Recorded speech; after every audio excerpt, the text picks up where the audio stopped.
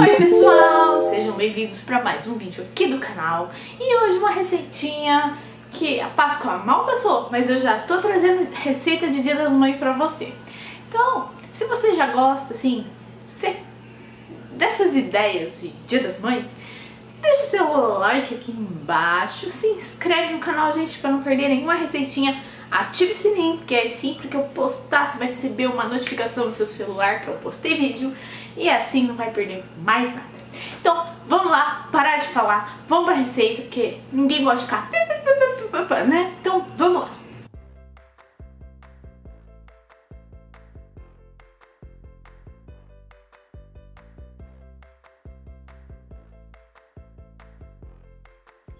Para começar, a gente numa panela em fogo baixo, a gente vai adicionar o óleo. Tô usando óleo de soja, mas pode ser azeite, você escolhe. E vou colocar o paio picadinho em cubinhos para fritar. Lembrando que todos os ingredientes ficam aqui na descrição do vídeo no YouTube. Depois que estiver bem douradinho, a gente dá uma mexida e vamos adicionar a carne moída. Eu tô usando meio quilo, tá? Essa receita rende para umas quatro pessoas, tranquilo, fica facinho de fazer. Vou deixar fritando ali, dar uma misturada e logo em seguida a gente, quando ficar cinzinha, aí a gente continua a receita. Então, gente, tá gostando do vídeo?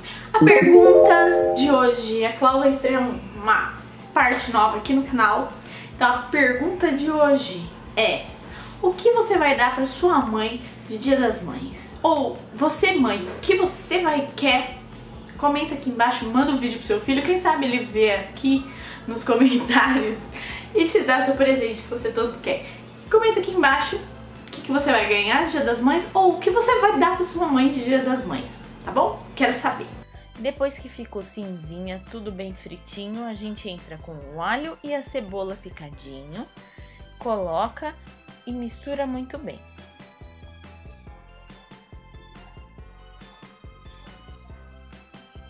Depois de agregado, nós vamos adicionar o extrato de tomate. Se você quiser, pode colocar o molho de tomate daquele industrializado, dá super certo. Coloquei o extrato, vou misturar para agregar bem ele a nossa carne e logo em seguida a gente já vai temperar. Eu coloquei, gente, azeitona, essa, sabe aquela azeitona que é recheadinha dentro? Eu acho ela super gostosa. Coloquei sal, mas aí vai de você, vai do seu gosto. E também coloquei pimenta cayenne. Mistura bem, tá? E vou deixar cozinhando ali em fogo baixo até ele ficar mais cremoso. Eu também coloco um pouquinho de água, porque aí ele não, de, não vai secar, não vai correr o risco de queimar. Abaixa bem o fogo, tampa deixa ali pegando gostos, harmonizando os sabores. Depois de totalmente cozido, deu uns 5 minutos, a gente pega adiciona o requeijão. Eu usei requeijão de copo, mas se você quiser colocar catupiry também pode, fica uma delícia. Misturei muito bem e só vou deixar dar uma cozinhada por uns 2 minutos só para ficar mais cremoso. Adicionei a cebolinha picadinha, misturei e aí você já pode desligar, tá? Desliga, espera um pouquinho e aí você vai colocar numa travessa. Como minha travessa era branca e eu não queria sujar a travessa para ficar bem bonito, eu fui pondo colherada por colherada. E aí é só partir saborear essa maravilha, gente. Fica tão gostoso e olha de pertinho para vocês o resultado. Olha só no garfo. Hum, fala sério para mim, não ficou maravilhoso? E aí, gente? Gostaram da receitinha de hoje? Fala sério, fala sério, ficou maravilhoso. Eu almocei isso hoje.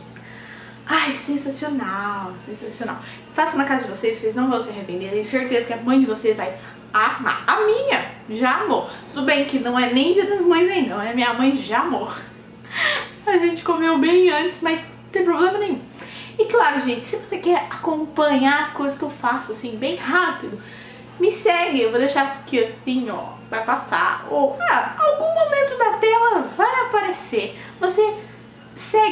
arroba Clauzinhando, eu posto stories, tudo que eu faço, se eu, onde eu vou, supermercado, tudo eu compartilho com vocês. Então me segue lá pra você não perder mais, tá bom? Então é isso o vídeo de hoje. Espero muito que vocês tenham gostado. Se você gostou, deixa aquele like pra me ajudar na divulgação. Manda lá todos os seus amigos. Quem gosta de cozinhar, faz essa receita. Quem não gosta de cozinhar, aprende e faz, porque vai gostar, tenho certeza. Se inscreve aqui embaixo, deixe seu comentário. Ó, like, bastante like, bastante like, bastante like pra Cláudia, tá bom? Um super beijo, fiquem com Deus e tchau, até a próxima.